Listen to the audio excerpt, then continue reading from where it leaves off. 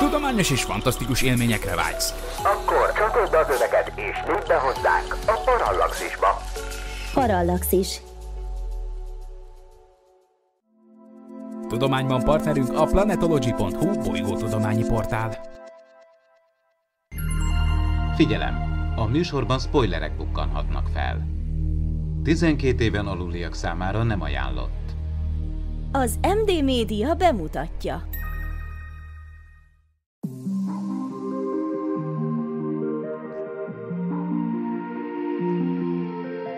Tudományos és fantasztikus élmények Erzsóval, aki pedagógus, Gergővel, aki geográfus, és Nándorral, aki környezetkutató.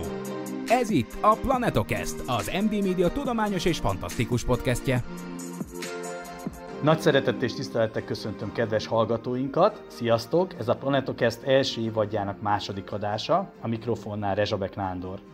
Az elkövetkezendő hetekben igyekszünk jobbnál jobb témákkal kitölteni azt az űrt, amit a Parallaxis hagy maga után a nyári szünet alatt. Ezt követően pedig szeptember másodikán indul újra a Parallaxis Podcast az ötödik évaddal.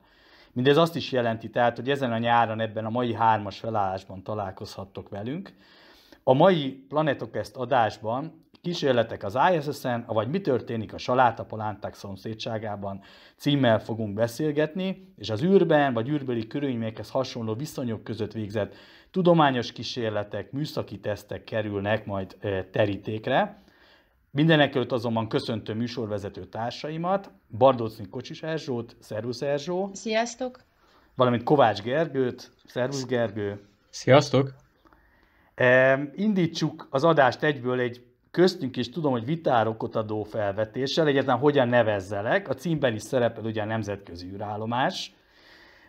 Ugye ISS vagy ISS, jó magam, hát ugye régi csillagászati észlelő táborokban szocializálva csak púriasan ISS-nek mondom, de tudom, hogy ez van, akit irritál. Én ettől nehezen tudok eltérni, nem áll rá az angol betű szóra. Ti hogy vagytok ezzel? Kezdjük talán itt. Ti hogy mondjátok, vagy hogy fogják a kedves hallgatók ezt hallani tőletek az adásban? Csak is ISS. Sajnálom. Nálam ez más nem is tűnik ilyen Neki pont a, én a másik irányzat vagyok, nekem az ISS fura, úgyhogy... Na hát én meg pont ellenkezőleg, tehát én meg akkor, én, akkor már azt mondom, hogy inkább ISS, kicsit, kicsit magyarosabban, vagy kicsit ilyen, ilyen hunglis nyelven fogalmazzak, de visszakérdezek, hogy mond ez nektek valamit az, hogy alfa, vagy az, hogy freedom? Hát most így, ahogy mondod, nekem beugrik az, hogy ez a hát kb. 80-as évek közepe, és ugye már szó volt akkor arról, hogy lesz egy új űrállomás, ugye ez egy amerikai űrállomásnak a terve volt, és azt tudom ugye a későbbi történésekből, hogy ez lett aztán ugye az ISS vagy ISS, de tudtommal ugye ilyen név alatt futott még az eredeti űrállomás terv, ami ugye az USA fennhatósága alatt, vagy az ő terveiben szerepelt, ha jól emlékszem, de erősítsetek meg. Egyébként tök érdekes, hogy, bocsánat, hogy ö, még annak idején a 99-2000 környékén, mikor még nagyon kicsi gyerek voltam, akkor volt egy kedvenc könyvem a Heather Cooper és Nigel Hambes-től a Világűr Atlasza című mű. Ez egy ilyen csillagászati képes könyv, és abban még az ISS az Freedom űrállomásként van elnevezve. Egyéb... Hát akkor egybevágnak, bocsánat. Igen, Igen, mondjuk, hogy nekem ez teljesen más szempontból ismerős, hiszen ugye James Bex volt az, akinek volt egy ilyen ötlete annak idején, hogy kellene egy ilyen a pont az orosz Mir űrállomás mintájára valami állandót kitalálni nekik is, és ők egyébként tényleg ezt a Freedom nevet találtak ki először, ugye, és ezt a J, Ronald Reagan 84-ben hirdette meg ezt a nagy Freedom programot, ez ahhoz hasonló stílusú beszédnek lehetne nevezni, mint amikor, uh, hogy is hívják, Kennedy meghirdette ugye a Hold programot, tehát ez ugyanolyan látványos volt, és ugye mi amerikaiak vagyunk, erősek vagyunk, megcsináljuk típusú program volt. Egyetlen egy gond volt vele, ugye, hogy állandóan tervezték, át kellett tervezni, sok pénzbe került, még sok több, több pénzbe került, és ez így húzódott, húzódott, húzódott, mert ugye ezt látjuk, hogy 84-ben mondta ezt ki régen, de még a Clinton kormány is ott volt, hogy az alsóházban szavazást tartottak róla, hogy egyáltalán belevágjanak hagyják-e, vagy csinálják-e, vagy folytassák ezt a Frida programot, sőt, olyan necces volt az egész helyzet, hogy az alsóházas szavazás során egyetlen egy szavazattal csúszott át ez a program, hogy mégiscsak fognak ezt folytatni. És ugye már mondtam, hogy a régen beszél 84-ben volt, és még 93. októberében született csak meg az a megállapodás, pont az említett oroszokkal, hogy ezt a régi Mir 2 űrállomást majd valahogyan az alfa néven, amit mondtad, Náni, beolvasztják, vagy Gergő, te mondtad, hogy beolvasztják majd valahogy ebbe az egész űrállomásba, és csak ekkor kezdődött el az egész építése, tehát iszonyú hosszú, nagyon gubancos folyamat volt, és a legfőbb gondja ennek az volt, hogy valami brutális mennyiségű pénzet nyert el ez a program, és végén tényleg majdnem bedőlt az egész. Ha már ugye említetted a Mirt, ugye egy, egy személyes emlékként azt hadd mondjam el, ugye, hogy tudni kell, ugye a Mir ugye orosz, vagy akkor még ugye szovjet űrállomásként indult, de valójában élete végén egy nemzetközi űrállomás szerepét töltötte be lényegében. Talán már akkor ugye az ISS is készült és épült, amikor még ugye a Mirre már ugye mentek a, a különböző nem orosz űrhajósok is, és magam ugye a 90-es évek közepén foglalkoztam műhold megfigyeléseket, tehát amatőr ugye a különböző adatbázisokból, ugye ma is ugye hát az ISS-t ugye szoktuk gyakorta nézni, ugye akkor ezek már megvoltak ezen a Heavens Above oldalon, és annyira emlékszem, hogy, hogy volt a mire kapcsolatos nagyon klassz élmények, olyan, amikor az űrrepülőgép, ugye, ami, ami már csatlakozott ehhez, éppen elvált, és az égbolton ugye haladt két fényes pont, az egyik volt a Mir, a másik pedig maga a, az űrrepülőgép, illetve a Mirnek az irányított magas légkörbe vezérlés, és gyakorlatilag ugye a, a, a, a halála előtt néhány nappal gyakorlatilag az utolsó keringések során is láttam erről, egyébként akkor írtam is egy cikket, ez a 90-es évek végén, úgyhogy ez nekem nagy élmény volt, mint ahogy utána az, az is ugye, hogy, ahogy elkezdett kiépülni. Az ISS, de valahogy nekem még a Mirrel voltak ezek az ilyen nagyon személyes, meg valamennyire még azt megelőzően ugye a, a, a, a szovjet űrállomások, ugye ezek a szágyút repülések, amiket én megéltem, hiszen ugye az amerikaiaknak csak ugye a 70-es évek elején, közepén ugye a, a, az akkori Skylab volt, ami nekem már maximum csak olvasmány volt, de mivel találkoztam, ezek a ugye mindennapi hírekben a szájú repülések voltak. De erre majd ugye vissza is térünk, nyilván Farkas Bertalant ugye majd meg kell említenünk feltétlenül, ugye az űrállomásokról is szó esik úgy általában. Ö, még volt, hogy a híradóban is bemondták, mikor még tényleg ilyen ö, szintén azt kell mondjam, hogy ilyen nagyon kicsi voltam, és arra emlékszem, így, ami, ami tisztán megmaradt, hogy így a híradóban bemondták, hogy a Mir meg a, a valamelyik amerikai űrrepülőgép úgy áthalad az égbolton, és akkor két ilyen fénylő pöttyöt figyelhetnek meg az égen, és akkor emlékszem, hogy még kiismertünk és kerestük az égbolton. Azt szerettem volna mondani, pont a Mir 2 kapcsán, ugye, hogy ez hogy sikerült átmenteni, ugye, hogy ne teljesen, mert ugye a tényleges űrállomásnak ugye megvolt a halála, de amikor a Zvezda egységet fogják építeni, mert ugye tudjuk, hogy a nemzeti űrállom, nemzetközi űrállomás, tehát én csak egy hatalmas nagy legónak szoktam hinni, ugye, ami mindig újabb és újabb és újabb elemekkel bővül, tehát ennek megvan szépen a folyamata, tehát hogy az elmúlt most már 21 év lesz, amióta ugye létezik és működik, azóta mindig újabb és újabb szegmensekkel bővült, és a Zvezda lakó dolgozó egysége, ugye az, a még be végül is át lett mentve a, mir, a Mirnek a olyan részei, tehát amit ö, korábban már elkészítettek, de nem használták még ezeket fel. És ezeket szépen a 93-ban ezeket az ISS tervezetébe szépen ö, beépítették, és így átkeresztelték, tehát végül is a Mir 2 ilyen ö, újrahasznosításon ment át, hogy a Zvezda néven ott jelen lesz. És ez a Zvezda, ez majd elvileg 99-ben indult volna, de nagyon ilyen pekhes szegmens volt, mert az a protonkár rakét, ami felszállította volna, az meghívásodott, és az egész program úgy nézett ki, eleve nagyon sok, szintén ugyanaz volt a gond, mint az egész ISS dolog, hogy elhúzódott, iszonyú sok pénzbe került, nem akart működni, nem akart összejönni, aztán végül 2000 nyarán egy nagyon vicces, mert egy oké, hogy egy protonkrá rakéta indította, de egy pizza hát felirat volt ezen a rakétán. Ami egyébként szerintem az, hogy Bajkonurból egy pizza hát feliratú rakéta viszi fel, az Zvezda szegmenset, szerintem ennél coolabb dolgot nagyon nehéz elképzelni. És az az érdekes, ami szintén ilyen extrém dolog, hogy 13 napig tartott, még sikerült célba érnie a cuccnak, és hogyha emlékeztek rá, vagy nem tudom, ugye, aki, meg aki szoktak követni, hogy mostanában, amikor a szojuzok mennek fel a nemzetközi űrállomásra, 6 óra, padlógáz, és 6 órán belül ott vannak a cuccal. Tehát ez felfoghatatlan, hogy a technika meg minden mennyit fejlődött azóta.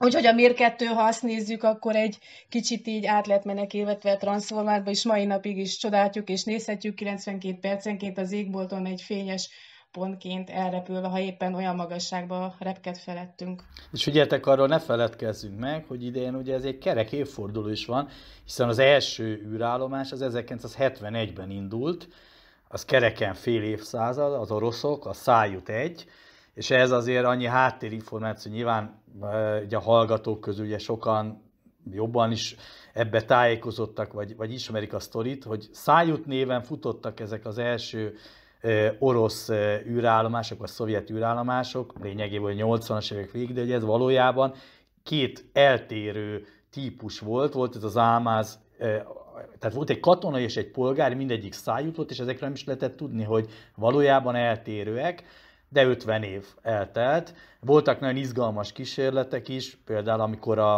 a, ezben a Jolly Joker kozmos sorozatban, ami gyakorlatilag több ezer műholdat is jelentett, sokszor titkos kísérletek, meg, meg sikertelen kísérletek, meg tesztkísérletek kaptak kozmosz számozást. Például ezekkel már megpróbálkoztak az oroszok a 80-as években kibővíteni az alap szájút űrállomást, és valóban létrehoztak már egy nagyon komplex kibővített űrállomás, ami szintén előképe volt valahol egyfelől a Mirnek is, de aztán ennek a nemzetközi együttműködésben végül nemzetközi űrállomás nevet kapott egységnek. Egyébként az az érdekes, ugye, hogy ez sok izé után, tehát hogy elindult, tehát az első szegmensnek a hajnal nevet adtak, mindegy, ugye ébresztését meg kell, ö, hogy is járt ennek az egész programnak, ugye ez a zárját az azt jelenti, és ugye ez az első modul ugye 98 novemberében indult el, és ugye szintén ez, ez is ugyanaz, tehát hogy az oroszok ebben is ezeket az egykori tehereszállító űrhajók már legyártott, de fel nem használt egységeit használták fel, és ugye ez is egy protonrakétával indult e útnak, és ezt két hétig tesztelték, mire fel tudtak lélegezni nyugodtan, hogy oké, okay, ez működni fog, és akkor onnantól kezdve egy ilyen 300 kilométeres pályán mozgott. És ugye említetted a Szaljut filmet, és az az érdekes, abban volt, hogy aki látta a filmet, biztosan emlékszik a dokkolási jelenetre, hogy mekkora nagy flash élmény volt azt nézni, amikor ugye a két szegmens kapcsolódott, és ugyanilyen volt ez a nemzetközi űrállomásnál, csak ők ezt 98-ban decemberében történt ez meg, ugye már a Zárja fent volt, és később küldték utána a Unity-t. A Zárja ugye az orosz szegmens volt, a Unity benne is a nevében az egy Endeavour ürepülőgépen ment, tehát egy amerikai volt, és pont ugye, amit az orosz filmben a szájútnál láthatunk, hogy hogyan dokkolt ez a két egység. Körülbelül a valóságban ez majdnem ugyanígy megtörténhetett 98-ban. Egy hölgy, egyébként ugye, hogy a nők szerepe milyen fontos az űrkutatásban, Nancy Curie volt az, aki ezt a Kadaradalm robotkart vezette, ami végül is befogta ezt a szegmest, és úgy tudtak összekapcsolódni, és ez, ez azért is volt ilyen nagy dolog, mert kb. a valóság e, megismételte a filmet, vagy film a valóságot, ugye ez nézőpont kérdése. És onnantól kezdve ugye a két egység, hogy összekapcsolódott, onnantól végül is már tényleg egy állomá, nagyobb rendes állomásról tudtunk beszélni. Így van, említetted a filmet, ehhez egy érdekesség, hogy nem csak filmen, hanem vannak ISS fotósok is, ráadásul egy egyik leghíresebb, egy magyar kedves barátunk. Ugye erről mit tudnátok elmondani? Ö, amit én néztem meg, amit nem tudom, utána néztem, annak idején nem tudom, hogy emlékeztek-e, hogy 2019. februárban, ö, aki követte ezt a Space Station Guys oldalt, tehát pont az Nagyszabi oldalt, akkor egy... Igen, rá gondolok egyébként igen, pontosan, volt egy, teli találat. Volt egy hold fotó. Ezt egyébként meg lehet nézni a YouTube csatorna oldalán, fent van Twitteren, de valami hihetetlen mennyiségű fórumon is, ugye ez a felvétel, ez egy februári felvétel volt, amikor a hold előtt áthúz a nemzetközi űrállomás. Egy nagyon szép felvétel, tehát ez tényleg rengeteg fórumon megjelent, és nem csak magyar, hanem külföldi fórumon is, tehát így, amit te mondasz, az igaz, hogy nem csak itt kis hazánkban éles a neve, hanem tényleg nemzetközi szinten is, és a, például van fent szintén a YouTube csatornáján olyan előadása, amiről beszél, hogy hogyan is épült, hogyan is született meg az ISS, illetve hogyha valaki fényképezni szeretné.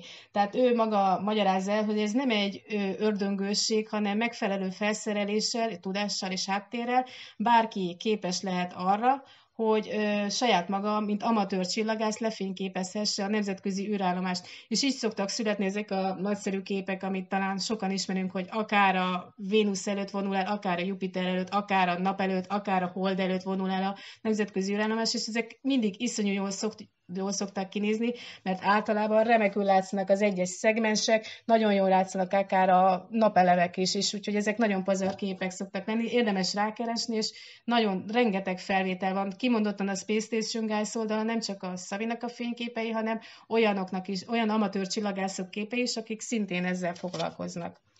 Hát ez egy kedvenc, kedvenc ö, asztrofotós célpont, azt kell, hogy mondjam, tehát szerintem a két kezemmel sem tudom megszámolni azokat az asztrofotókat, amik arról szólnak, hogy az ISS egy napfogyatkozásba trókodik bele Urambocsá, vagy egy Merkur, vagy egy Vénusz átvonulásba, vagy egy holdfogyatkozás mellett van ott egy ISS, vagy akármilyen tetszőleges csillagászati esemény mellett, ott van az ISS. Egyébként azt kell, hogy mondjam, hogy ö, én nagyon becsülöm azokat az asztrofotósokat, akik ki tudják azt számítani, hogyha például elutaznak Brazíliába, akkor, hogyha onnan lefotózzák az éppen fogyatkozó napot, akkor látszik az, hogy a fogyatkozó napsarló előtt ott fog átvonulni az ISS. Tehát az én szememben ez egy, egy ilyen maximális respekt. Számomra meg az érdekes, ezeket a képeket nézve, hogy olyan e, fantasztikus felbontással dolgoznak, mint ugye Erzső is említett,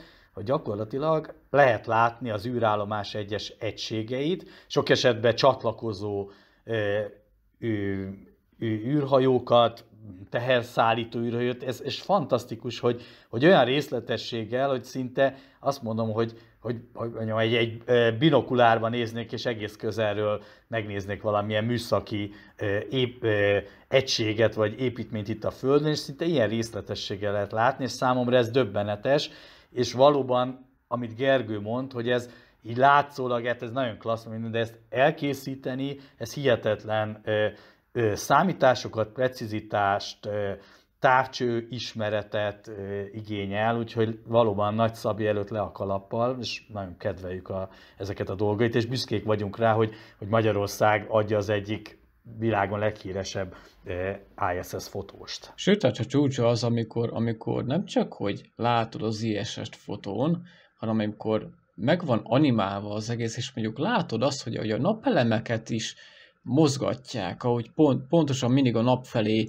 fordítják a napelemeket. Tehát látod azt, hogy ez az egész egy ilyen nagyon-nagyon dinamikus dolog, tehát látod azt, hogy mintha mint hogyha élne ez az egész űrállomás, ahogy forgatják a napelemek, nap, napelemeket, meg a különböző alkatrészeket, hogy jól működjön az egész. Ez valóban izgalmas. Igen, emlékeztek, amikor ugye a Dragon űrhajók indultak, akár ez egyes, akár a kettes, és akkor is volt ilyen, ugye nem, nem tudom pontosan, hogy valamelyiknél éppen sikerült tisztelget kifogniuk, és akkor mindenki az ilyen élő közvetítésnél az, hogy aki tudta, az csapott papot hagyjon költőt, menjen az ég alá, és ha tudja, akkor fényképezze le. És rengeteg ilyen fotó is született, pont amit nem is mondott, hogy az, hogy a éppen csatlakozó Dragon űrhajóra, meg a nemzetközi neremesről, és ezek roppant jó képek, mert ugye jó, hogy láttuk, meg ugye egész más egy NASA közvetítés nézni, mint amikor ilyen amatőr csillagászok képeim köszön ez így vissza, tehát ez rendkívül nagy érzés. Egyébként annak idején, hogy is hívják, nekünk is volt egy ilyen élmény, hát mi nem a mi űrállomást láttuk, mi a nemzetközi űrállomást,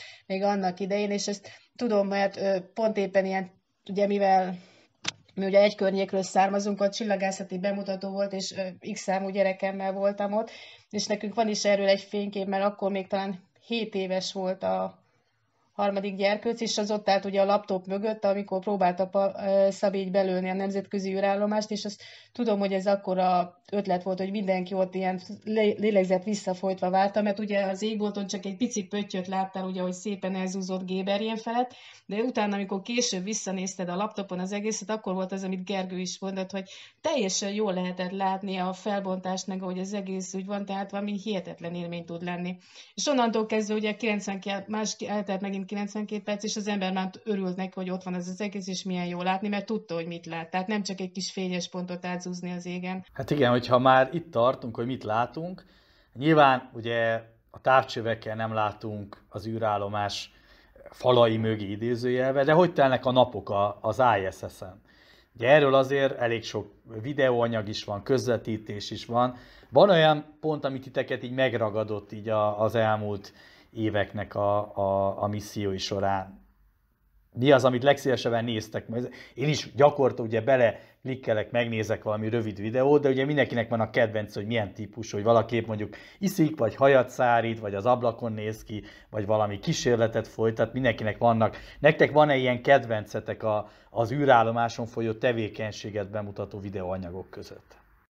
Hát nekem az abszolút favorit Chris Hetfield videói, tehát ő, őt nagyon szeretem, ugye ő egy kanadai űrhajós, és roppant eredeti figurának tartom, bár most, amikor ránéztem az ő videóira, YouTube feldobott egy hasonló típusú, csak egy orosz nyelven, tehát ez teljesen ilyen abszurd élmény volt, hogy először ugye ismerve Chrisnek a munkásságát, ugyanezt végignézni, később egy orosz feliratozva, egy orosz ö, űrhajóstól. Ugye ő az, akit ugye rengeteg ilyen videót készített, pont amit Nándi te mutattál, van neki tucatjával van fent, hogy hogyan alszanak a nemzetközi űrállomáson, milyen az, amikor sírnak a nemzetközi űrállomáson, milyen, tehát ez, ez, ez, hogyan, gyűjt, hogyan próbál egy törölközőből vizet kicsavarni, és akkor tehát hogyan készíti el az ételét. Tehát hajmosás videókat viszont a hölgyektől szeretem, ugye most talán, nem tudom, hogy a mostani uh, személyzetben, vagy az előzőnél volt egy iszonyú hosszú szőkehajú űrhajós nő, és már amikor elindult, akkor mondtam a szakköröseinek, hogy gyerekek, ha ez felmegy az űrállomásra, azon annak milyen frizurája lesz, és hogy fogja ez ott mosni a haját. Tehát ilyen gyakorlatilag, mert oké, okay, akinek ilyen kis tüsi rövid haja van, az úgy megoldja, de akár Krisztina Koknak is, hogyha felidézzük neki meg, ugye ő is iszonyú sok időt volt fent, ugye nemzetközi állomáson is, rengeteg kísérletbe vett részt, amit talán most említeni is fogunk a műsorban, ilyen hosszú, göndör, hullámos haja volt, hogy te jó ég, mit kezdett azzal a nemzetközi űrállomáson, amikor meg akartam mosni? Tehát ez felfoghatatlan, meg ugye ezek a repkedő ételek, meg ez a szívószás ételek, tehát Chris Hetfield rengeteg ilyet csinált, sőt, Neki vannak olyan videói, amikor fent gitározik a nemzetközi állomáson, és lent a földön egy kórus, illetve zenekar csatlakozik hozzá. Ez véletlen jó felvételket csinált, nagyon nagy arca fickó, tehát én nagyon bírom a videóit és a csatornáját, tehát nagyon érdemes megnézni, mert roppant szórakoztató, tehát a gyerekek is nagyon szokták szeretni, ilyen egész rövidek is vannak, tehát ilyen pihentetésnek is be lehet néha dobni, de vannak hosszabbak is, tehát teljesen a kanadai csatorna viszi a prímet nálam.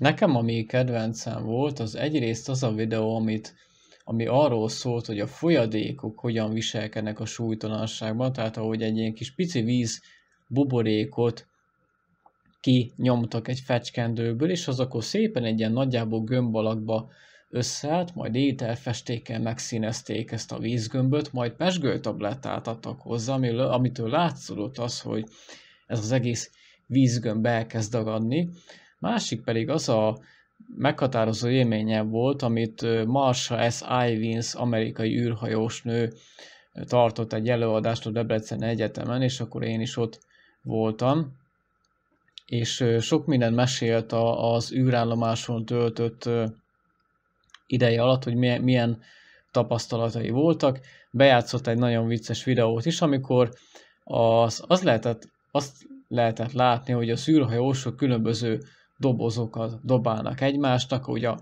űrelemes egyik végéből egy modulon keresztül át dobnak egy dobozt a másik, űrhajósnak a másik űrhajós akkor ezzel a eredeti iránynak kb. 90 fokkal hajítja tovább ezt a dobozt az, a másik társanak, majd jön Marshall's Ivins összegubózva, mint egy másik csomag, azt is elkapja az űrhajós, és 90 fokban azt is hajítja tovább. Ami még vicces volt, ahogy mesélte, hogy amikor ott tartózkodott az űrállomáson, akkor abszolút nem érezte a végtagjait, mivel ugye nem volt ö, nehézségi erő, ugye súlytalanság volt, és azt mondta, hogy nem érezte egyáltalán a testét, tehát olyan úgy érezte magát, mintha egy szellem lenne. Majd miután visszatért a földre, mindig lebicsaklott a feje. Tehát a, a, a ezek a fejbiccentő izmok annyira elgyengültek már akkor, hogy egyszerűen nagyon-nagyon nehéz volt megtartani a fejét, és mindig így lebicsaklott akaratlanul fel, és mindig ugye, ugye ö, meg kellett fogni a nyakát úgy kézzel, hogy újra normálisan, normális pozícióban legyen a feje ennek az űrhajós nőnek. Egyébként ez nagyon érdekes, amit mondasz, mert ö, volt egy másik ilyen űrhajós, szintén hölgy, ez a Sandra Magnusnak hívják, ő meg azt panaszkodott, hogy amikor visszatért a földre, hogy a nagylábúján bőrkeményedés lett, mert ugye mindennel ugye olyan ö, a lábujjáival lökte arrébb magát, hogyha közlekedni akart valahova, és ugye mivel folytonosan azt használta a heteken keresztül, mind a két nagy lábujján ilyen vastag vőkeményedés alakult ki. Viszont egy másik ilyen amerikai űrhajós, ő azt mondta, hogy tehát ő annyira élvezte pont ezt, amit te mondtad, hogy így lehet játszani a szegmensek között, hogy neki meggyőződése, hogy a legmugorgább fickót is, ha felvinnék és beraknánk ilyen súlytalanségi állapotba, és pont, hogy te mondtad, így megpöckölnénk a lábujánál fogad, ember nincs a talpán, aki ezt kibírná, anélkül, hogy ne vigyorogne el, mert ez annyira más és annyira könnyű. Viszont amiről szoktak panaszkodni, ez pont, amit te mondtad, hogy mint a szellem lenne, tehát ugye az, itt a Földön, ugye amikor este van és lefekszünk ugye be az ágyba, akkor az úgy el ahogy elpihen a test, meg minden, az olyan megnyugtató jó érzés. És az űrhajósok például ezt hiányolni szokták. Nekik nincs ez meg, hogy ellazulunk, mert mindig lazák, tehát pont ez hiányzik, tehát ez az ilyen pszichés meg fizikai hatás, hogy miért, nem, miért nehéz kibírni egy ilyen küldetést fent az űrállomáson, ez pont benne van, hogy hiányzik ez nekik, ez a testünk ellazulásának az élménye, ami nap végén segít ahhoz, hogy nyugodtan tudjunk pihenni. Nekik ez nincs meg, mint ahogy mondtad, mivel, mintha szellemek lennének, ugye mivel nincsen gravitáció. Hát tudni illik az űrhajósoknál, ugye amikor alszanak, akkor különböző hevederekkel szorítják le magukat. Egyrészt azért, hogy a, a kezeik ne szabaduljanak el, és ne nézzenek ki úgy, mint egy marionett bábú. Másrészt azért, mert az emberi test, hogyha egy pici nyomás nehezedik rá, akkor jobban tud aludni. Nem tudom, itt mennyire figyeltétek meg. Én a saját példámon figyeltem meg azt, hogy mondjuk nyáron, amikor ugye nyilván melegebb van, és nyilván az ember sokkal-sokkal vékonyabb takaróval takarozik, akkor sokkal rosszabbul tud aludni, mint hogyha egy, egy nehezebb, vastagabb takaróval bugyolálod be magad, és érzed a takarónak a súlyát magadon, akkor az nyilván ad, ad neked valamiféle, valamiféle nyugalmat, hogy jobban tudsz aludni. Ti ezt, meg, ti ezt megfigyeltétek? Mi ez abszolút így van, tehát egyébként, tehát nem véletlenül, hogy a két hetente, tehát bármikor beszélhetnek ők is így pszichológussal, hogy ez a, a, a fent az űrállomásról, hogy, hogy ezt a érzést, meg ezeket, hogy fel tudják dolgozni valahol, mert ezt azért nem egyszerű. Amit így hozzáfűznék az elmondottakhoz, ugye mind a ketten említettetek különböző gyakorlatilag ugye mondhatjuk, hogy asztrobiológiai, meg anyagtechnológiai idézőjelbe tett kísérleteket, ezek számomra azért fontosak, de úgy gondolom valamennyiünk számára itt hármunknak, hogy mi gyakorlott ismeretterjesztők, hogy az ilyen típusú videók bemutatása egy rendkívül népszerűsítése is. Bizonyos biológiai tényeknek, azt mondom anyagtechnológiai, fizikai, kémiai folyamatoknak, és azzal, hogy ilyen úgymond viccesen vagy szórakoztatóan ezeket bemutatják, ennek egy hihetetlen mértékű ismeretteresztő, tudásbővítő hatása van, és ez olyan, hogy gyakorta olyanok is leülnek megnézni ilyen típusú videókat, akik esetleg mondjuk úgy mondom, hogy a fizika, kémia, vagy bármilyen természettudomány, vagy az űrkutatás ilyet annyira azért nem érdeklődnek, de valami miatt ezt jó pofának találják, és ez az egész elősegíti azt, hogy a, a általános természettudományos tudásszintje növekedjen annak, aki leül és meghallgat. Úgyhogy én ezért kedvelem ezeket, és ezért jó, amiket említettetek. De ugye vannak olyanok, most ugye itt beszéltünk, hogy milyen kísérleteket, mutánsegerek, a pókháló, ezekről is beszéljünk azért, mert ugye itt az állatvilággal összefüggő kísérletek is rendkívül fontosak tudományos szempontból is, meg ismeretterjesztő. Ezek a, a pókkísérletekről tudtok valamit, hogy milyen pókkísérletek voltak a, az űrállomáson?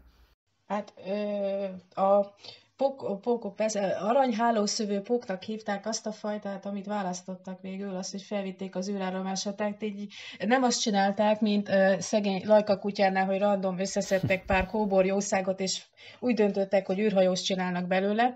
A pókok kiválasztása egy kicsit tudományosabb módon zajlott. Olyan pókfajtát akartak választani, amelyek ilyen uh, aszimmetrikus hálót sző, és amikor kész van a hálójával, ugye a pók beleül a közepére, és fejjel lefelé tele van a pók, tehát úgy, ha el tudjátok képzelni. Tehát az a lényeg, hogy a zsákmányát a gravitáció segítségével tudja elfogni. És ugye pont egy olyan pókra volt szükségük, hogy mit fog kezdeni, hogy fog fogni majd zsákmányt egy olyan környezetbe, ahol nincsen gravitáció. És egyébként nagyon vicces, két nagyon vicces kísérlet lett erről. Egyébként a, nekem a kedvencem a 2008-as, mert szerintem írtó nagy bulit csináltak a pókok fent az űrhajósoknak. Ugyanis vettek két darab pókot, ő volt a pók egy és a pók kettő, mind a kettőt berakták ugye saját kis terráriumukba, és akkor várták a csodát, hogy majd a pókok szövik a hálót, és a ezeket az ecet muslicákat szépen meg fogják enni. Igen ám, de a pókok másképp döntöttek. Egyik nap a pók kettő talán eltűnt ami roppant kellemes egy nemzetközi űrállomáson, hogyha eltűnik egy pók. Nem tudom, biztos sokan vannak, akik eleve pókfóbiával küzdenek, tehát... Pont ezt akartam volna mondani. Igen, mondjuk, hogy engem kevésbé zavart volna ez a tény maga az, hogy bárhova bemászhat az az izé, itt mismogót csinálni, inkább ez a része, de főleg, hogyha elképzeljük magunk előtt, hogy hogy néz ki a nemzetközi űrállomás azzal a milliónyi zsinórral, amit össze hát Nem az a rossz, amikor látsz egy pókot, hanem az, amikor elveszte szem elől és akkor ott van a hátad mögött. Ott be, belóg éppen a hátad mögé a pók, ez igen. Na de nagy nehezen előkerült a pók, kiderült, hogy a pók kettő átmászott a pók egyes terráriumába, ott megbújt, és aztán ott voltak ketten együtt, de itt nem is lett volna gond, ha két pók együtt van, ha ugyanúgy folytatják normálisan kísérletet, hogy megszövik a hálót, eszik a muslicát, és akkor tudják vizsgálni, mit tennek. Igen, ám de a két pók úgy döntött, hogy ők riválisok lesznek egymásra, és ahelyett, hogy a muslicákat kették volna levadászni, mind a kettő ilyen őrült pókhálószövésbe fogott, ami teljesen rapszódikus volt, és semmit se tudtak belőle kivenni. És mivel ők egymással voltak elfoglalva, hogy melyik lesz a falka vezér, ezért a muslicákat nem fogták meg, a muslicák elszaporodtak, az egész terrárium tele lett muslicával, úgyhogy kész az egész kísérletet le kellett fújni, mert bedőlt az egész, úgyhogy ez nagyon jó pofa volt 2008-ban. Tehát ilyen pókkáosz katasztrófa következett be, tehát nem jöttek be a hozzáfűzött ö, remények, úgyhogy 2011-ben, amikor megismételték ezt a kísérletet, tehát három évig emésztették ezt a tragédiát az űrhajósok, hogy mi legyen velük, és utána már egészen más, tehát biztonságosabb terráriumot találtak a pókoknak, hogy ne tudjon kijönni, külön zárták őket két különböző szegmensbe, tehát még közel se voltak egymáshoz. Lent a földön szintén megcsinálták egy kontrollcsoportot, két pók egy, pók kettő volt a földön, pók egy, pók kettő volt az űrállomáson, és akkor, akkor már működött. Tehát két hónap alatt 100, 100 hálóról valami 14 ezer fényképet készítettek, és arra jöttek rá a végén, ami egyébként a slusszpoén, hogy nem is a gravitáció az elsődleges, ami miatt szövik ezek a pókok a hálójukat, hanem a fény. Tehát azt vették észre, hogy ahol ég a lámpa a nemzetközi állomáson, a pókok ott szépen szabályosan, ahogy a Földön aszimmetrikusan szövik a hálójukat, nem pedig ilyen abnormális szimmetrikus hálókat készítettek. Tehát az egésznek végül is az lett a lényege, hogy semmi köze az egésznek a gravitációhoz, a fontos kérdés a fény. Tehát ez a pók kísérletnek végül is ez a lényege. Na, ez nagyon izgalmas volt, de ne feledkezzünk meg egy magyar kísérletsorozatról, egy, egy eszközről sem, Ugye Farkas Bertalan vitte még annak idején magával, a KFK fejlesztette pille dózismérőt, utána ez egy nagyon komoly nemzetközi karriert futott be, egyfelől amennyire tudom, használták különböző földi körülmények között is, de viszont a mi szempontunk, ami az adás tematikája szempontjában nagyon lényeges, hogy ugyanez a mi űrállomáson, meg az ISS-en is járt és, és használták, és valóban egy, úgy mondom, egy magyar sikertörténet.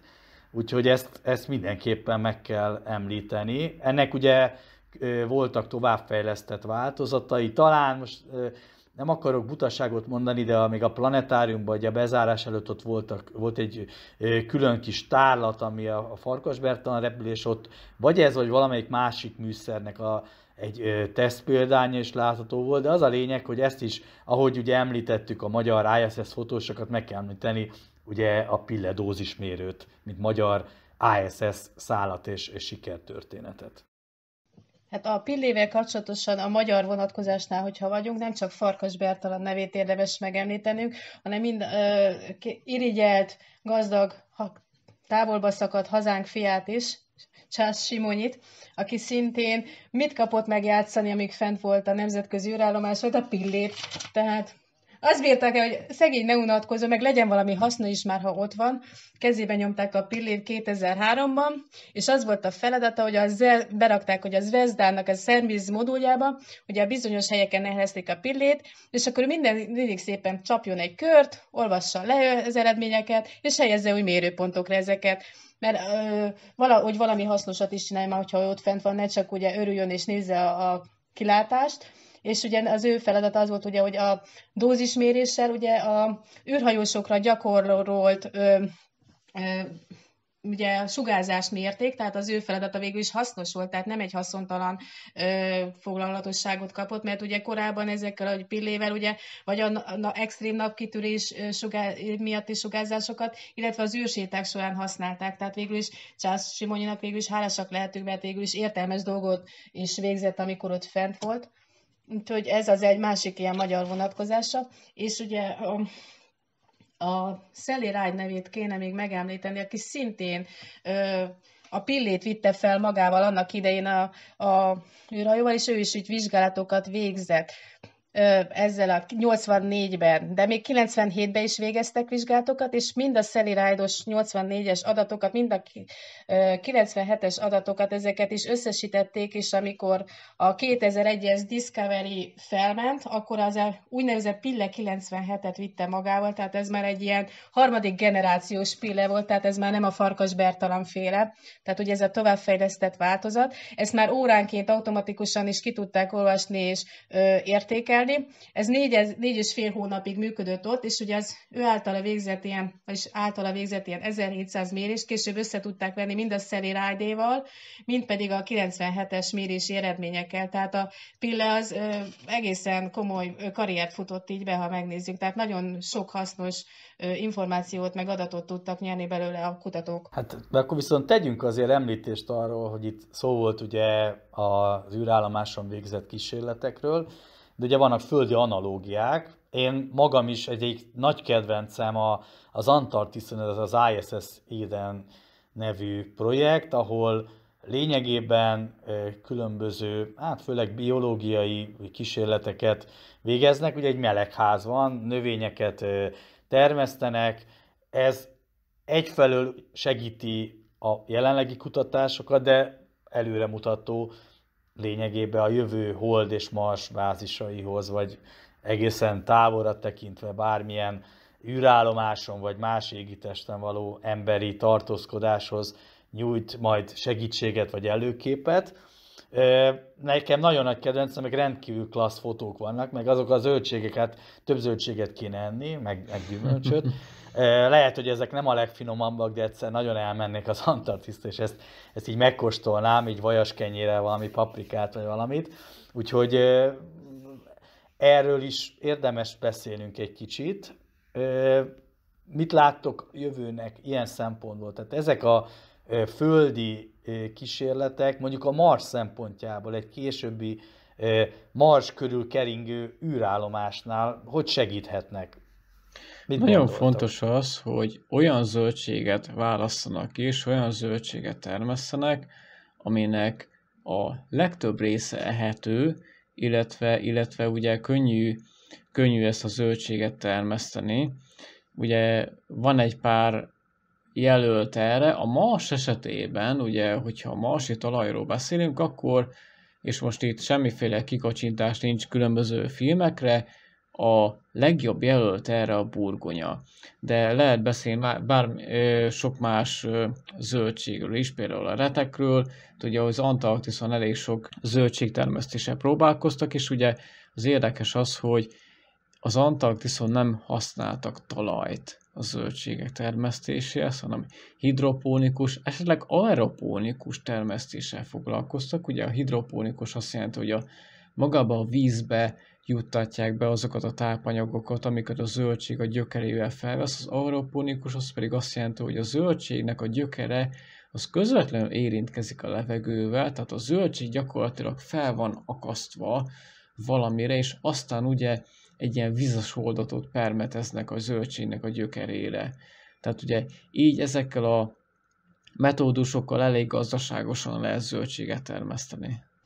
Egyébként nagyon jó, mert ezt én is néztem, amit mondasz, és ugye az az érdekes, hogy ezt az egésznek az irányítását ugye úgy kell megoldani, ugye, amit nem is kérdez, hogy hogy a, ugye a marsikról hogy, hogy ne embernek kelljen ezt irányítani, hanem ezt is, ahogy így ezben a különleges körülmények között nőnek a növények, ezt a németországi űrközpont brémai irányító termével irányítják. És hogyha Nándi szeretnél ilyen uborkát, mángoldott zöldfűszert, vagy uborkát tenni az Antarktiszra, akkor sietni kell, mert ö, évente 40 vagyis naponta 40 centivel körülebb kerül ez az űre, ez a, kutatóállomás az óceánhoz a különböző okok miatt, tehát e, előbb-utóbb át kell költöztetni, úgyhogy úgy, úgy, úgy be kell valahogy könyörögnöd magad ehhez a négy fős személyzethez, és amikor ez a 14 hónaponta cserélődnek, akkor valahogyan ki kell számolni, hogy mik, mint amikor a, jön az ISS és látni akarod, akkor éppen odaállsz, amikor a 14, első lejár a 14-esnek a missziója, és akkor gyorsan beállsz a sor, hogy én is szeretnék menni, mert szükségem lenne egy kis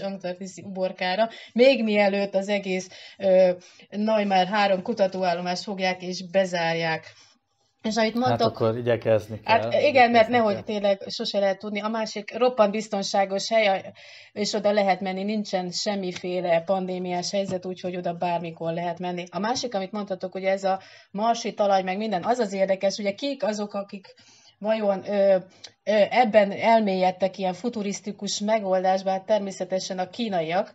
A nagy kínai dróngyártó cégnek volt egy ilyen abszurd elképzelése, hogy hogyan lehetne ez a Food for Mars and Moon programot, hogy ilyen marsi talajstimulások segítségével próbáltak, paradics, na a paradicsom az oda jönne neked, tehát Kínába kell menni, ha paradicsomot szeretnél, paradicsom, retek, zab, borsó, póré, hagymát, és különböző ilyen talajkeverékeket próbáltak, hoztak, hoztak egyrészt Hawaii-ról ilyen vulkáni talajt, ami ugye tápanyag szegény, amiből hiányzik a reaktív nitrogén, magas a fém és fémtartalma. És, és bazaltos. bazaltos. És, és akkor ezzel próbálkoztak, valamint ilyen folyami homok, meg ilyen különböző talajjavító szerves anyagokba, és ilyen 14 fajta növényjel, hogy hogyan boldogulnak vele, és itt van az, amit Kergő mondott, hogy a krumpli az piszok jól vette a dolgot. Tehát 10 hét alatt attól kezdve, hogy elültették termet, és be tudták takarítani. Tehát mit fogunk enni a marson? Chipset. Tehát teljesen jó lesz, úgyhogy Ráadásul ilyen egészségeset, mert olaj nélkül el fogjuk tudni készíteni, tehát teljesen jó lesz, úgyhogy nem fogunk elhízni. És az Nagyon lényeg, érdekes hogy... egyébként. Igen, mondjad nyugodtan. Igen, még azt akartam, hogy ez az üvegház, tehát itt is azon, amit mondtam az Antarktisznál is, hogy nem emberek által lesz irányítva, hanem ez a különböző mesterséges intelligenciában gondolkoznak, hogy ugye az, azok fogják ezt valahogy ö, rendezni, tehát hogy ne legyen szükség arra, hogy emberek ott legyenek, okos melegházakat fognak létrehozni, illetve a mesterséget, intelligenciát fogják bevenni. Ugye visznek méhecskéket, baktériumokat, gilisztákat és gombákat is, de az a lényeg, hogy ne az ember legyen az, akinek ezt az egészet működtetnie kell, hogy mire az ember már oda megy, akkor az, ez már kész legyen, és akár működőképes legyen. Na most ehhez, hogy egy kicsit rákapcsolódjak szóba, nagyon érdekes az, hogy már most léteznek olyan, olyan uram, bocsánat, találmányok, amik arról szólnak, hogy ö, mindenféle emberi beavatkozás nélkül termesztenek egyesek zöldségeket.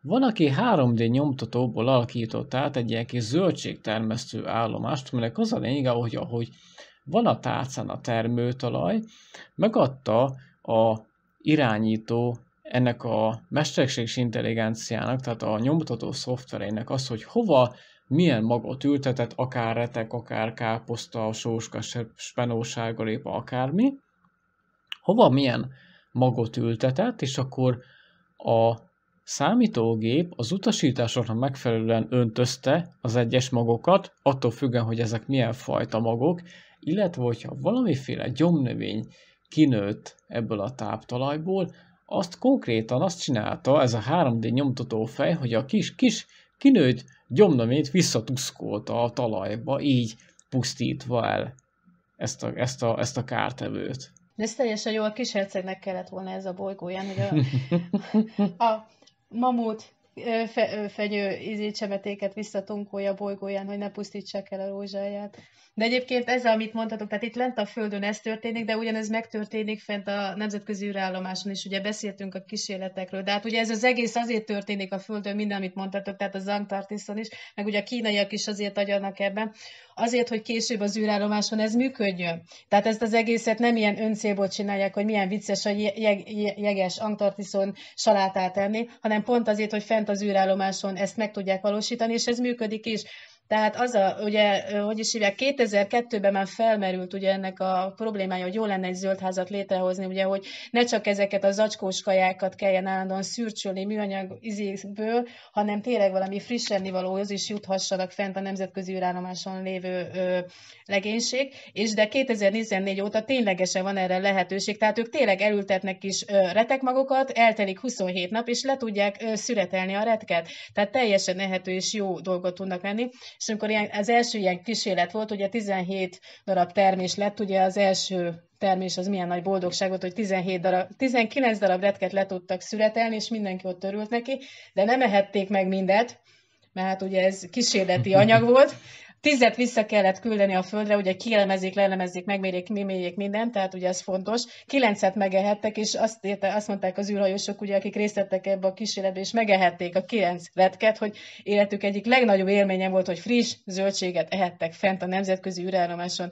Mert mondták, hogy ez az, ami a legjobban hiányzik nekik, hogy nincsen friss zöldség, minden tényleg ilyen mirelit, fagyasztott pizza, meg ilyen újra melegített is, és pont ez a friss zöldség hiányzik nekik nagyon, úgyhogy a legnagyobb, tehát őszinte a, a űrhajósnak a mosolya, amikor az ISS-en retket eszik, vagy salátát, rukkolát, mert tényleg örülnek neki, hogy végre valami friss ennivalóhoz juthatnak. Nagyon érdekes egyébként, hogy a nyugati civilizáció most felezi fel újra, újra azokat a dolgokat, amiket a nagyszüleink evidensnek tartottak, tehát az, hogy a, zöldségtermesztés hogyan, hogyan folyik, hogyan kell egy paradicsomot elültetni, meg gondozni ahhoz, hogy termés legyen.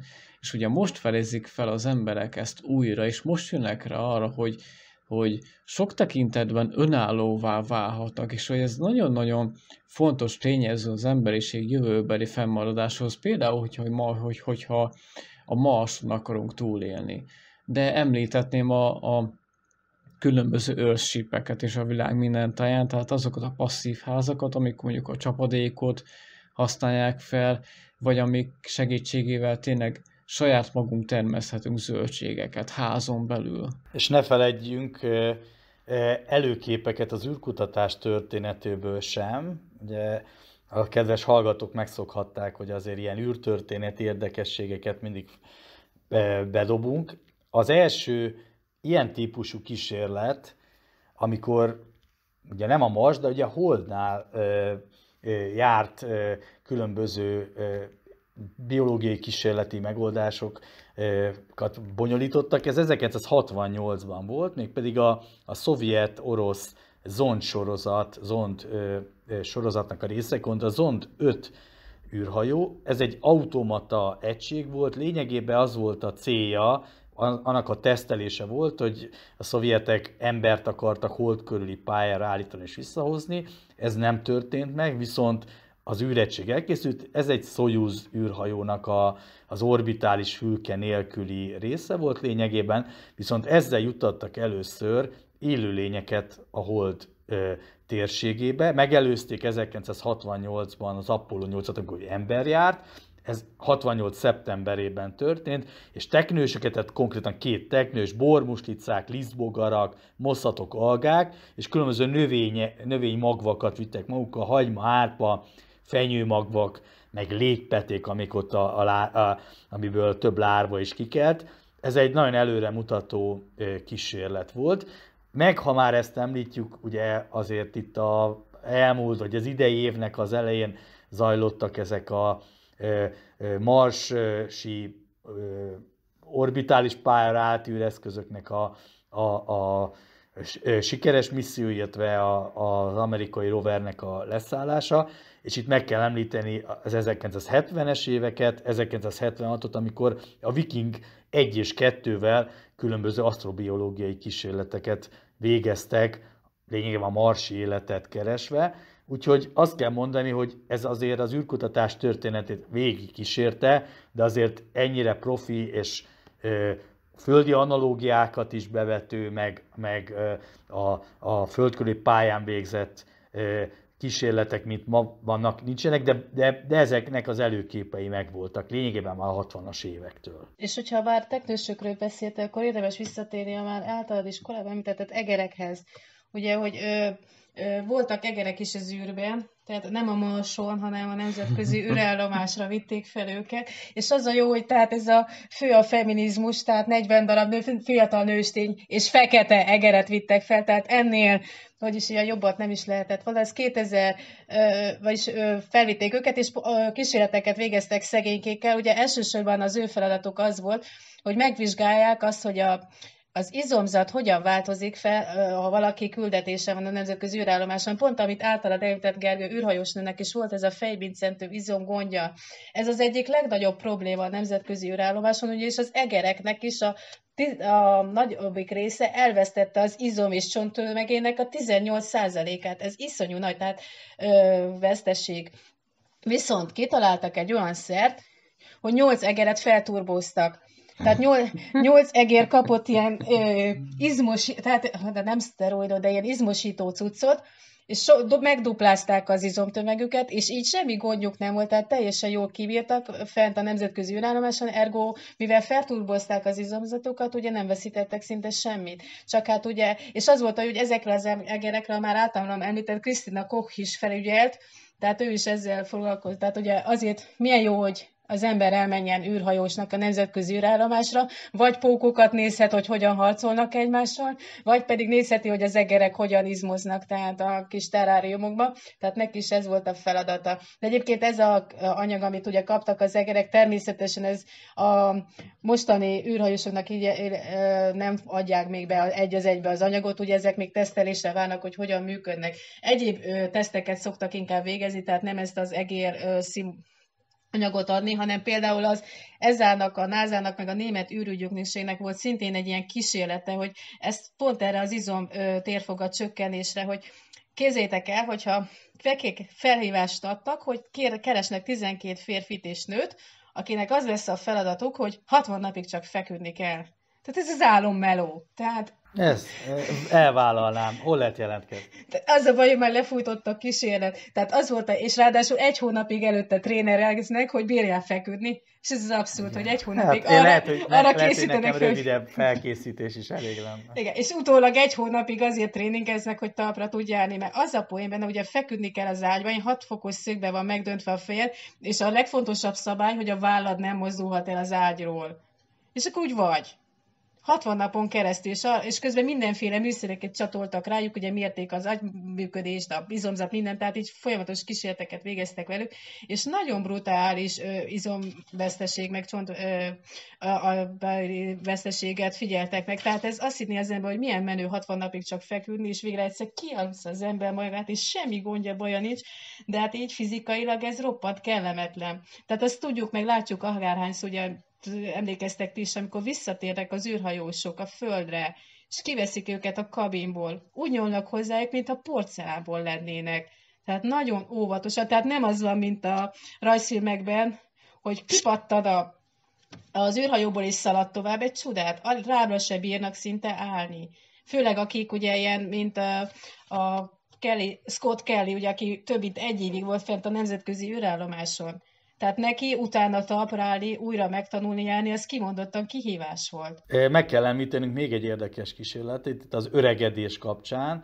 Ugye volt ez, hogy egy Iker párnak az egyik uh-huh. tagja, Péntos. ugye a nemzetközi űrállomásra repült egyik, egyik földi körülmények között. Igen, pont Scottéknak. Már volt lent a földön, Scott meg fent, igen. Én a lányát figyeltem mindig, ugye, amikor több ilyen videó is van, hogy voltak különböző születésnap, vagy ünnepek, és akkor ezt hogy élték meg, ugye ezt a hosszú tartózkodást, meg a távollétet. Ez is egy rendkívül izgalmas kérdés vet fel, vagy, vagy kérdéseket vet fel, de mondjatok erről még valamit, én most nem akarom. Hát Scott Kellynek körülbelül a DNS-ének a 7%-a az, ami, az, ami permanensen megváltozott, tehát ami maradandó változáson esett át. Különböző kognitív képességei nem változtak, viszont a, a reflex ideje, gyorsasága, pontossága viszont szignifikánsan változott az Iker testvéréhez képest. Igen, és egyébként az a vicces, ugye, amit, ö, hogy amikor földet ért, Twittert twittelt egyet, hogy 9 centét nőtt a nemzetközi űrállomáson. És az mindenki, hogy úristen, úristen, mi történt? 9 centét nőtt, hát az brutális változás. És utána volt a következő nap, hogy bocsika, rosszul mértem csak kettőt. Ugye ez is ugye természetes dolog, hiszen ugye nincsen gravitáció, ugye a csigolyák közti távolság ugye az megnövekszik. Igen, tehát igen. Ez, a két, ez, a két, ez a két centi hiba lehetőség úgy, ahogy belefér, tehát ez nem olyan. És az izmot is vissza lehet dolgozni, tehát a csontot is. És egyébként érdekes, ugye ez, hogy hogyan lehet csontot, hogy a csontnak a tartósága megmaradjon, hogy mire lehet szükség, mi az, amit tudnánk hasznosítani, ami, ami roppant innovatív lenne, és egyébként még eddig nem alkalmazott módszer vajon, hogy mit kell vinni az űrhajósnak, hogy az, a csontszövetei épek maradjanak. És hát van egyébként egy fotó Scott Kellyről, illetve a Zikel testvéréről. Nyilván a Zikel testvére azért növesztett bajszot, hogy meg lehessen őket különböztetni, de látszik a kettejük közötti különbség az, hogy Scott kicsit, hát uram, bocsánat, ilyen hidratáltabbnak tűnik. Nem tudom, hogy nektek mi a véleményetek erről, tehát úgy néz ki, mint hogyha mint hogyha tényleg, ténylegesen sokkal fiatalabb lenne, mint az Iker testvér. Az Iker testvér látszik, hogy alacsonyabb, mint Scott, meg egy kicsit olyan, olyan csoffattabb, bocsánat ezért a kifejezésért, de látszik az, hogy Scott, illetve az Iker testvére között ténylegesen van egyrészt egy magasságbeli, másrészt egy ilyen hidratáltságbeli különbség. Tehát látod azt, hogy az arcbőre is más a két-két a, a, a, te, a testvéreknek. Megtalálták fent az örök ifjúság titkát? Lehet, lehetséges, lehetséges. Egyébként igen, ha szép és fiatal akarsz lenni, akkor menjél a nemzetközi űrállomásra. Hogyha vállalod, hogy fél nyolctól este hétig gürizel, közben meetingelsz a folyamatosan a lenti központtal, egyfolytában dolgozol, két és fél órát gyúrsz minden egyes nap, hogy ugye ne veszítsd el a És mindent lefotózol, feljegyzetelsz. Azt, hogy ha hozzányúlsz, a, írták, hogy hozzányúlok az égőhöz fénykép, csavarom az égőt fénykép, be van csavarva az égő fénykép. És mindezt De ráadásul műanyag búrája van az égőnek, tehát nem törhet szét, de akkor is le kell fényképezni. Tehát ez egy nagyon érdekes kérdés, és így már vártam, hogy erről is szó legyen, hogy azért egy űrhajósnak lenni a nemzetközi űrállomáson nem egy álommelő. Tehát azt kell mondjam, nem csak az, hogy megbeszélés, megbeszélés hátán, és azt kell tudni, hogy egy űrhajós mögött időzőjelben körülbelül a Földön ezer ember van, aki dolgozik, hogy annak az űrhajósnak a munkája ott fent az ISS-en flottó menjen, de ráadásul még ugye mindent dokumentálni kell, lefotózni, minden egyes sorszámot felírni, lefotózni, minden egyes munkafolyamatot dokumentálni, minden munkafolyamat legfőképpen az űrséták esetében olyan, hogy ott minden mozdulat meg van tervezve, az azért eléggé embert próbáló. Ráadásul szombatokét takarítani kell. Ráadásul szombaton kell takarítani kell. Tessék. És, és gondoljatok bele, ott takarítani, ahol tényleg, amit mondtam, tele van minden ilyen zsinórral, meg mindenféle ilyen izével, amik lógnak, meg izén. Tehát ott takarítani, és azt, azt és, és igen. Szalad a ház. Szó, szó szerint ugye hány, több ez egy is sebe, kilométer per órás sebességgel a föld körül. És várjál, hát a, a takarítás ott hogy megy? Tehát, hogyha porszívózni kezdel ott, akkor a porszívó elkezd téged is arra fele mozdítani, ahol, ahol porszívozni akarsz, nem? Igen, ez a hatás akkor... ellenhatás. Igen, ez, ez olyan akár a... még veszélyes is lehet. Igen, ez olyan, amikor a főzésről panaszkodott valamelyik, ugye, hogy itt a földön tök egyszerű, megpucolod a hagymát, kidobod a héját. Ne ezt próbáld meg igen, a nemzetközi igen. űrállomáson. Hogy dob le a héját. Nem dobódik le, mert nem esik le.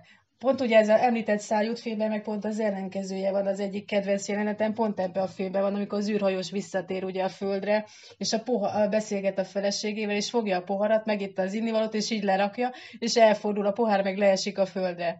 És ugye az, az ember kérdően néz az asszonyra, hogy mi történt. És az asszony csak ennyit mond, gravitáció.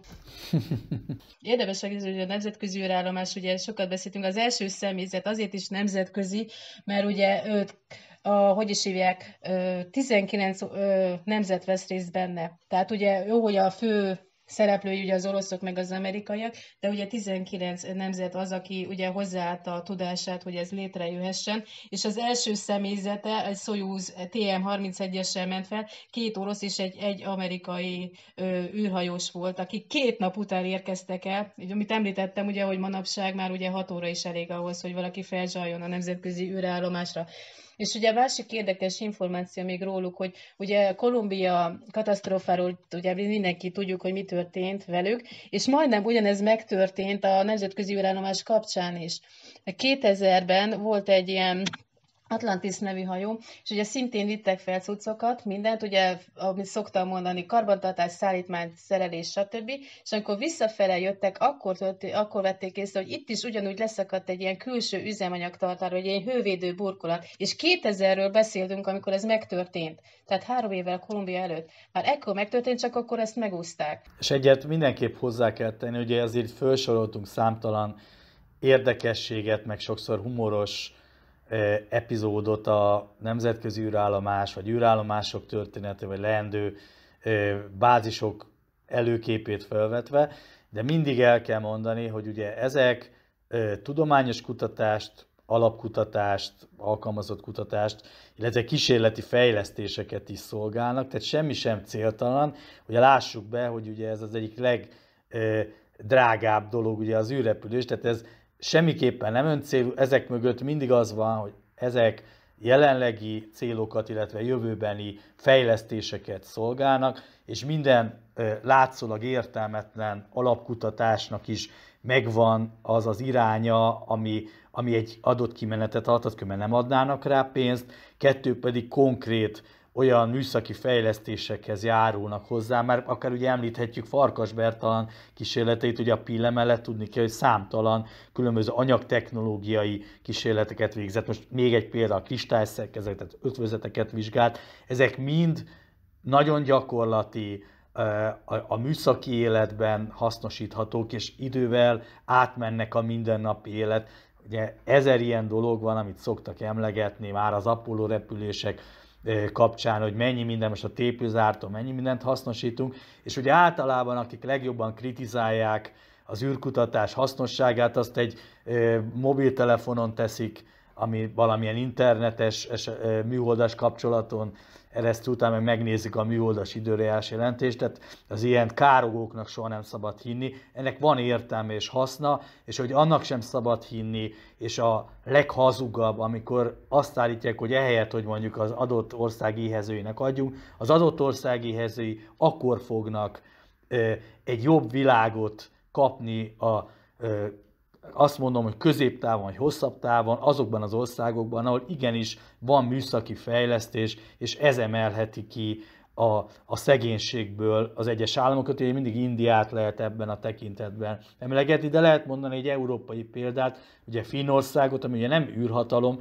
de lássuk be, hogy hasonlítsuk össze egy száz évvel ezelőtti finn valóságot a maival, semmi más, mint az oktatás, a kutatás, a műszaki fejlesztés, amely segíthet egy nemzetet felemelni. És éppen ezért az, hogy aj, hogy szállhattuk volna az éhezőkre, ez nem igaz. Az éhezőket éppen azzal tudjuk segíteni, hogyha minél nagyobb összegeket áldoznak az űrkutatásra, és ezeknek a hasznát élvezhetik majd azok, akik esetleg ennek nincsenek tudatában jelen pillanatban. 2011-ben a Debrecen Egyetem előadásán volt a Marshall's Ivins űrhajós nő előadásán, akkor felhangzott nyilván az a kérdés, hogy mi az űrkutatásnak az értelme, haszna, hogyan fogunk ebből profitálni, és akkor az űrhajós nő azt mondta, hogy megközelítőleg pizzára annyit költünk, mint az űrkutatásra. Ez a nagyon elgondolkodható gondolat volt az, a, a, az ő részéről, hogyha háborúkra sokszorosát költjük, mint az űrkutatás, és hogyha ezek, ezeket a pénzeket nem háborúkra költenénk, hanem űrkutatásra, akkor már sokkal-sokkal előrébb, előrébb, előrébb járnánk. Hát azt hiszem, ennél jobb végszót el sem tudunk képzelni, és nem is hangozhatott volna el. Műsorunk végére értünk, ez volt tehát a Planetokest első évadjának a második adása. Kicsit előrevetítve a jövőt, még egyszer megemlíteni, hogy szeptember másodikán indul újra majd a Parallaxis Podcast is az ötödik évaddal, és hogy szintén említettem a felkonferálásban, a nyáron ebben a hármas felállásban találkozhattok velünk.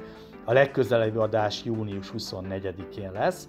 Köszönöm kedves hallgatóinknak a figyelmet, köszönöm műsorvezető társainak, Bardócni Kocsis Erzsónak és Kovács Gergőnek a mai beszélgetést. Sziasztok! Sziasztok! Nem volt elég a tudományból és a fantasztikumból? Olvasd a parallaxis.emtv.hu-t, lájkold a Facebook oldalunkat, nézd a YouTube csatornánkat, és hallgassd a Szokolébresztőt a Tilos Rádióban. A Tudományos Újságíró Klubja és a Tudományos Ismeretterjesztő Társulat által a Juhari Zsuzsanna díj külön díjával jutalmazott blog podcastjét az MD Media készítette. Kreatív producer Horváth Ádám Tamás. Hamarosan jön a következő rész.